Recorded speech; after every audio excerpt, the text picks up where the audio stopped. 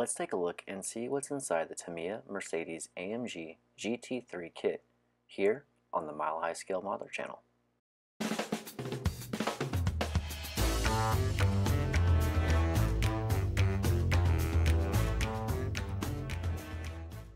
Hello fellow automotive model enthusiasts, welcome to another video from the Mile High Scale Modeler channel.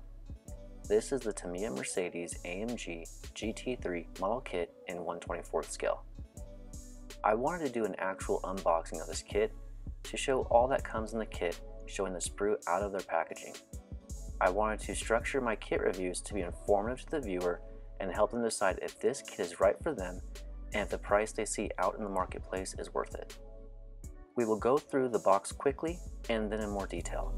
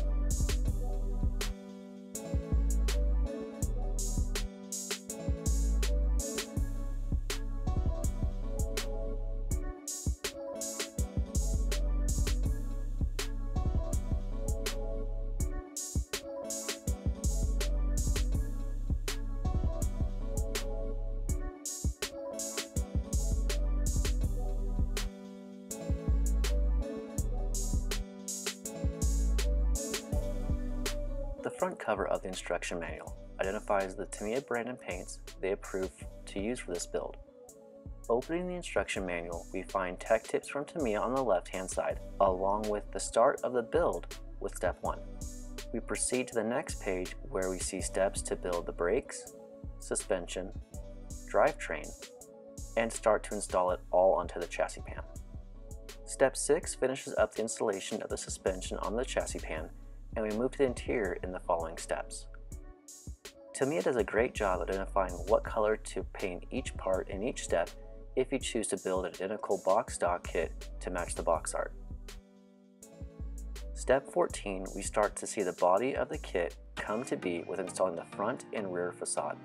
Step 15 and 16, Tamiya has templates that are shown in actual size to use a black mesh that comes with the kit to trace out and cut.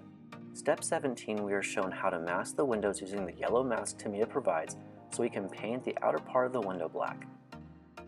Continuing on, we start to see the finish line at a distance, but it is in sight as these two pages we see a rolling chassis become apparent and the body is installed onto the chassis with step 27.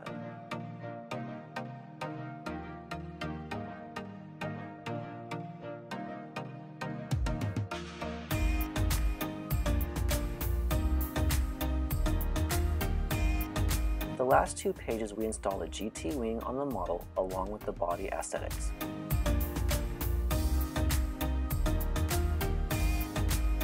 Last part of the instruction manual, we see where the placement of the decals should be on the body.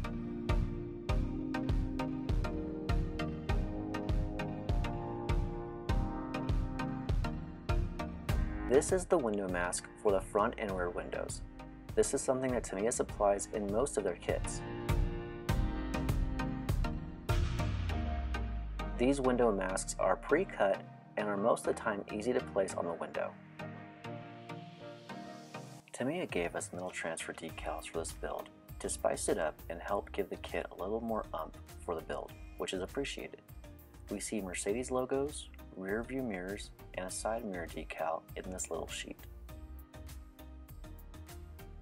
Just like most Tamiya kits, we received some black mesh for the grill and vents, which the templates can be found in the instruction manual to replicate the correct size needed for each part that requires the mesh. The kit comes with two decal sheets, the livery decal sheet and a small decal sheet that has decals for all parts of the kit. We see some small decals that have writing, but it is not legible due to the size of the text. The seatbelt decals I am not too happy with, as I've seen better seatbelt decals from Tamiya on other kits like the WRC Subaru kits. The bigger sheet decals are nice and crisp. There is even carbon fiber decals, which appears to have texture to it. If you are enjoying this video, please subscribe to my channel and hit the notification bell to be notified on when I release further content as this is a free feature YouTube provides to all of you. The kit does not come with an overload of parts to feel intimidated by the build compared to other kits that come with 120 plus parts. The glass here is of top-notch quality from Tamiya as we see with all the kit glass in most of their kits we can see a super clear line on where we need to place the mask in order to paint the remaining part of the window black as described in the instruction manual. There were no bubbles or imperfections to spot on this glass parts tree.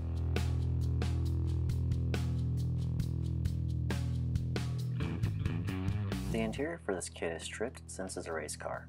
The interior we see has a center console with a good amount of buttons to paint.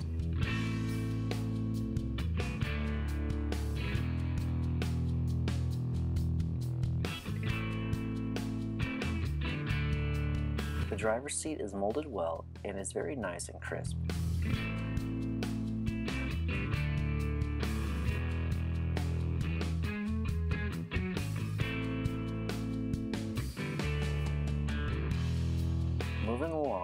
Have the stripped down door cards, which are nicely detailed.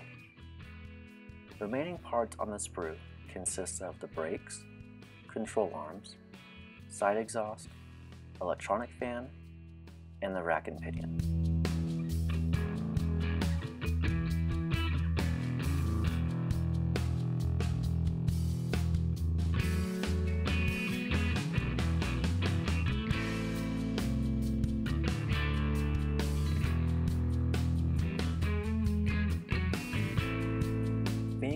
Kit, the body pieces that are molded separately and placed on the sprue were taken into consideration to limit any bodywork that may be needed prior to gluing these pieces to the body.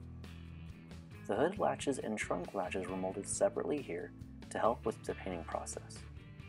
We even find the door handles to be separate from the body.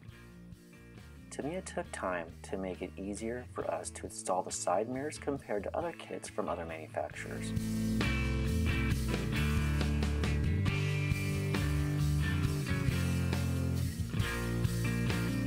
If you wouldn't mind while you watch this video, please hit that like button for me. This helps my channel grow and get my videos out there for other viewers like you to discover my content.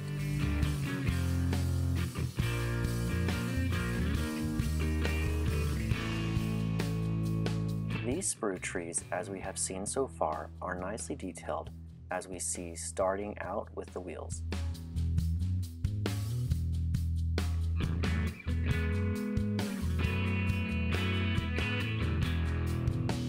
There is very fine detail even for the vent that is placed on the dashboard. The vents have this fine mesh appearance to them, which with a little dry brushing can bring out that 3D appearance to the build. Moving onto the coilovers, we can see detail with the springs.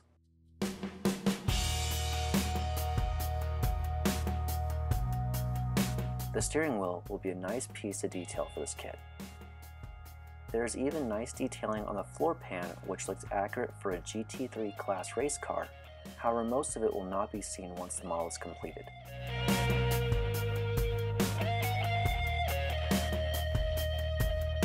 Please comment below if you built this kit and any issues you had along the way during your build. With this being a GT3, no kit is complete without some racing slicks.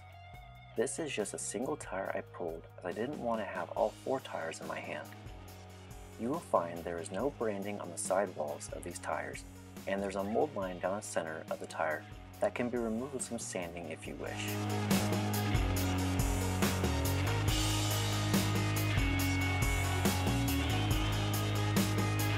Along with the wheels and tires, Tamiya gives you a set of poly caps which allow the tires to roll. Kit comes with minimal chrome parts as we see here. Though the chrome parts are minimal, they are indeed helpful. Here we see the Pan American style grille. We also find the rear light inserts along with the light buckets for both the front lights.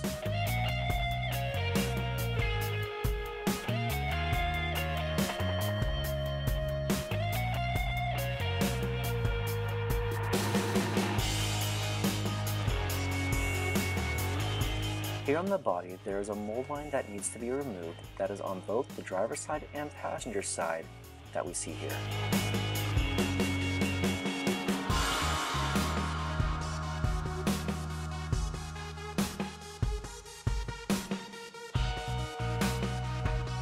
The front of the body, we see a little bit extra plastic on the edge to help make it easier to line up and glue the front facade. The panel lines are nice and deep, however I will go over them once more to help give the primer something to bite onto. Looking more closely on the body, we can identify where the body parts that were on the sprue tree need to be placed here on the body. I want to thank all of my subscribers and viewers who view my videos and provide comments on how I can make these videos more entertaining for all of you. Please like this video and subscribe to this channel it's just a few things YouTube allows you to do that is free.